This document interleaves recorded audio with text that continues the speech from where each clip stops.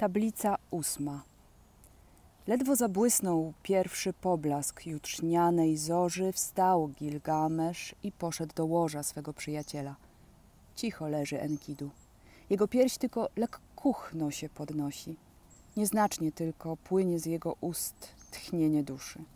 Och, zapłacze Gilgamesz i powie: Enkidu, ty przyjacielu młody, gdzieżeś porzucił swą siłę? Gdzieżeś swój głos zostawił? Gdzie jesteś, o mój Enkidu? A byłeś mocen jak lew, jak bawu, a byłeś chyży jak gazela. Jam cię miłował jak brata, miłował. Jam cię wywyższył ponad wszystkie książęta, ciebie, ciebie. Najurodniejsze w uruku niewiasty kochały ciebie, ciebie. Ku cedrowemu lasowi szliśmy pospołu i dniem i nocą byłeś przy mnie. Tyś ze mną razem do obwiedzionego grodu uruk przyniósł łeb humbaby, a ciemiężeni mieszkańcy gór, wybawieni od potworu, na wieki nas błogosławią. Myśmy zabili parskliwego, cudownego byka. Czyżby cię może dosięgnął zatruty dech jego nozdrzy? I widno wielcy bogowie nie pochwalili czynu naszego, żeśmy się srodze rozsierdzili na Isztar i byka, co z nieba był zesłan, zatłukli. I tak w milczeniu siedział całą godzinę przy łożu przyjaciela swego, a wzrok jego błądził w przestrzenie dalekie. To znowu powracał oczyma do Enkidu, do przyjaciela. Enkidu leżał cicho i spał. Enkidu, kochanku i przyjacielu moich młodych lat. Oto leżysz, pantero stepu wszechmogąca. Twoja moc dokonała, żeśmy wspięli się na górę bogów, żeśmy pojmali i ubili niebieskiego byka, żeśmy zgładzili humbabę, co mieszkał w lesie cedrowym. Jakiż to teraz sen głęboki, że cię tak schwycił i dzierży. Tak przeposępnie wyglądasz i zgoła już mnie nie słyszysz? Tak lamentuje Gilgamesz, ale ów już swych uczni podnosi.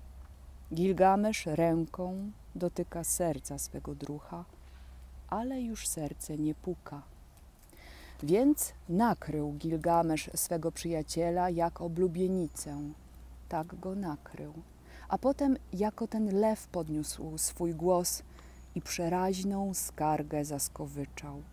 Jak lwica rażona oszczepem, zaryczał i włosy swoje wyrywał garścią i rzucał je na oku i rozdarł pyszną swą szatę, a przywdział kurzem przysuty żałobny łach. Ledwo błysnęło następne nazajutrz.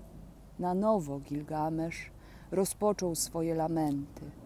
Sześć dni i sześć nocy opłakiwał swego Enkidu, swego przyjaciela.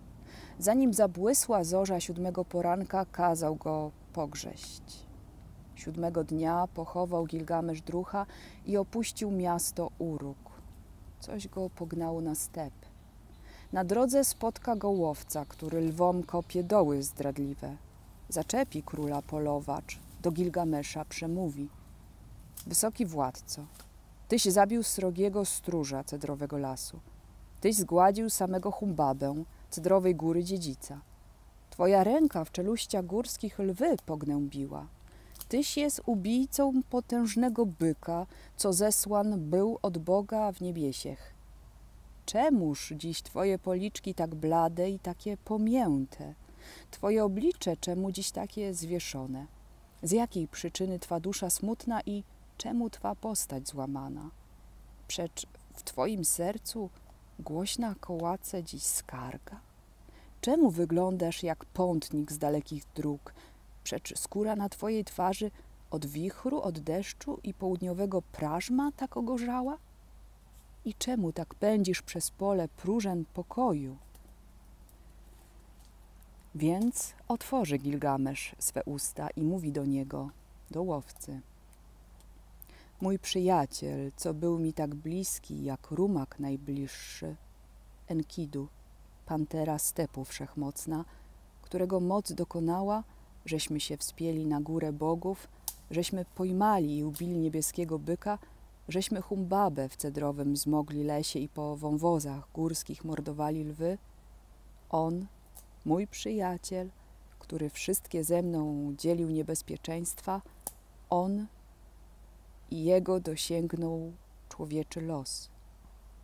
Sześć dni go opłakiwałem, sześć nocy, a dnia siódmego kazałem go pogrzebać. Zaś drucha mojego los wielce mi cięży i przeto pędzę tak po stepie i pragnę dali. Jakoż mą boleść przemilczeć, jakoż mą boleść wykrzyczeć. Przyjaciel, którego miłował, stał się już prochem ziemi. Enkidu, mój druh, dziś już wygląda jak glina ziemi.